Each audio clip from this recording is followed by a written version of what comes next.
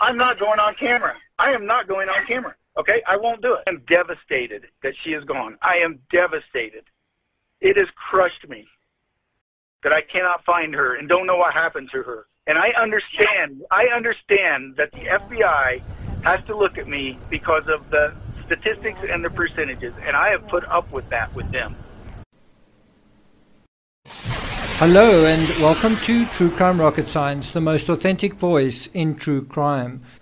That was an exclusive interview Lauren did with Barry Morphew sometime in September last year.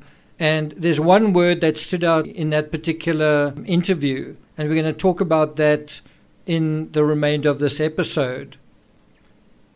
Now, what I'm going to do once again is I'm going to juxtapose the same thing, uh, selecting a single word from a short amount of of text, a, a short amount of um, uh, subtext, I guess one could say, or just um, script, and uh, seeing whether there's more behind it. And we're going to use the Chris Watts case uh, to go into it and. Um, see how relevant that was. Okay, so that's what we're going to do. And uh, what I'm going to do in the um, taking the sermon on the porch is I'm going to um, play the, the same thing that Barry said that I played earlier. I'm going to play it again. I'm going to play the Chris Watts thing, and then I'm going to, before I reveal what it is, let's see if you can you can find the, the loaded word that, that we're going to be talking about. Okay, so keep your ears open, and I'm going to now juxtapose both of these short statements. First from Chris Watts, then again from Barry Morphew, and see if you can pick it up. And it's just like, there's, it's like, it's vanished. Like, she's not, like, when I got home yesterday, it was like a ghost town. Like, she wasn't here. Kids weren't here. I have no idea, like, where they went. And it doesn't, it's just earth shattering. I don't feel like this is even real right now. It's like a nightmare that I just can't wake up from. And now let's go back to that clip from Lauren Scharf again. Let's listen in. Devastated that she is gone. I am devastated. It has crushed me that I cannot find her and don't know what happened to her. And I understand, I understand that the FBI has to look at me because of the statistics and the percentages, and I have put up with that with them. I have done it. So we've juxtaposed both of these statements, and now it's a very short little bit of, um, I guess, text that, that we want to look at. And you might say it's too small. But in the Chris Watts case, from that, you might say, well, was he talking about a ghost town? Was he talking about vanished? Was he talking about the whole thing not feeling real, you know, feeling like a nightmare? And ghost town and nightmare sort of correspond to that where Barry Morphew says he's feeling devastated and so on. Something else that he says that I think is very interesting, just his word choice, because he can choose any words to say what he means. He talks about putting up with. And in this case, he talks about putting up with law enforcement. Now, here you have law enforcement trying to investigate what happened to his wife, and he's putting up with it. If you just think about what that means, you know, he's putting up with the authorities investigating where his wife is and Aren't they supposed to be doing that? Aren't they, aren't they supposed to be doing their job? And so one wonders whether he didn't feel that way about Suzanne, that he didn't feel like he was putting up with her, even though, you know, he's her husband, putting up with her cancer, putting up with this, putting up with that, right? But those aren't actually any of the terms that I want to focus on. I want to focus on a term that has got to do with the transformation of a human being. Um, within a crime scenario, right? Um, something that is has got to do with physical um, destruction or physical impact or force, right? And so the key term from Chris Watts is this one. And it doesn't, it's just earth shattering. I don't feel like this is even real right now. So Chris Watts volunteers this unusual word or these unusual words earth shattering, right? And at the same time that he says it's earth shattering, he also says, you know, it doesn't feel real right now. Now, to us, we are thinking, well, he's talking about, you know, it's not, it doesn't feel real to him um, what is happening, I guess. Um, Shanann leaving or whatever. But in a weird way, we're basically just saying whatever we don't know um, d- doesn't feel real to him. Of course, in hindsight, we know that he did know what was happening because he committed the crime. But I think that was never, nevertheless true, meaning that even though he'd committed the crime, even though he disposed of their bodies, even though um, he did terrible things, you know, not just disposing of the bodies, but also what he did physically to them, but and also the the oil tanks. I think it still doesn't feel real to him. Everything is feeling very weird, and, and he's struggling to he's struggling to grasp it um, consciously. Even though he did it, he's struggling to grasp it. But the key word there is earth shattering. Now, I remember when this originally came out, because I'm a wordsmith, because I work with words, because I'm a narrator, I'm also very selective in the words that I choose, but I'm also very, my ears prick up when you find someone who's not a wordsmith, who doesn't write books, who uses some, flow, I call it flowery language, a word that just sticks out. And it could be um, projection. So you, you might say, no, no, no, this, that, that word is completely normal. And a lot of people did say that. Bear in mind, this was the analysis when the Sermon on the Porch came out, before, before we knew actually what happened. And so one of the words I said that, that, that I highlighted was earth shattering. Now you might say, well, look, fracking is all about shattering the earth.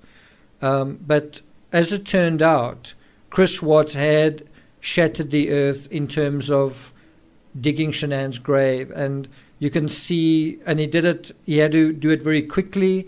He didn't only shatter the earth, he also had to patch it over, which is why he used a rake. But he would have had to break through that substrate, that crusty substrate, and, and get to the soft dirt underneath.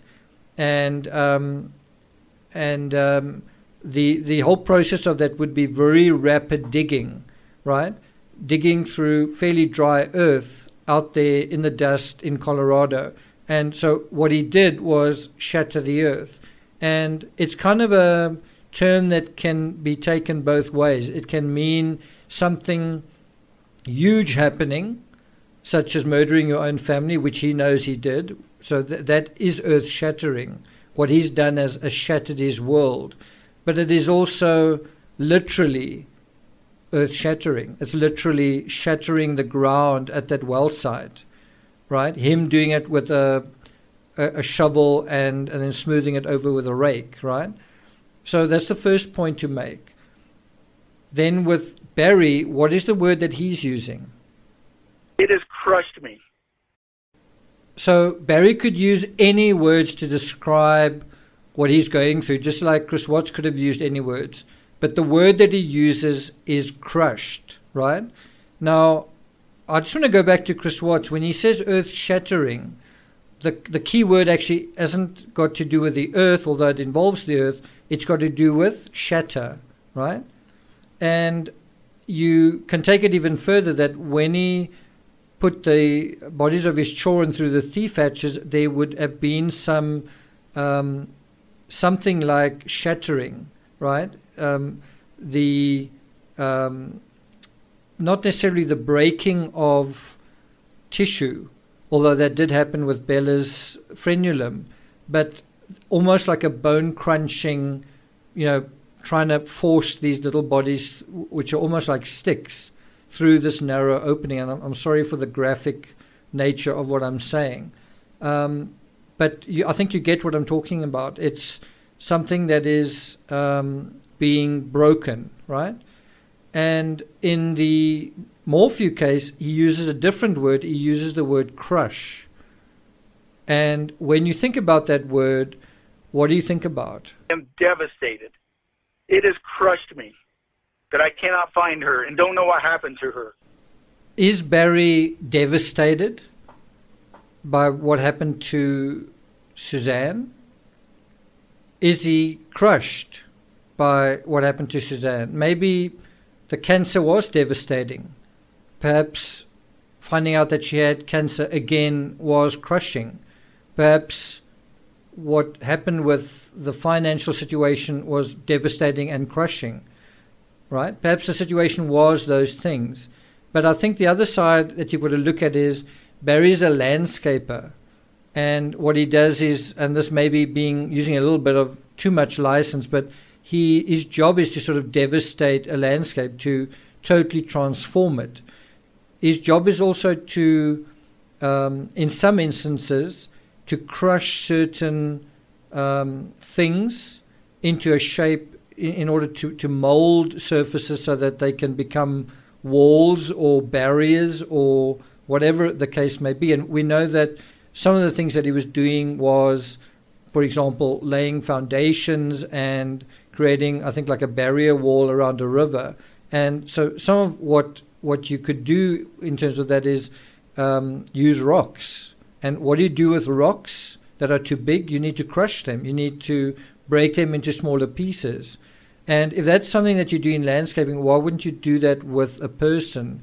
If you needed to create a landscape where you wouldn't be bothered by something as bothersome as human remains. Now, think about landscaping in the context of um, you get rid of things that are going to irritate you in terms of the landscape. So, if there's a tree there that you don't want, you uproot it.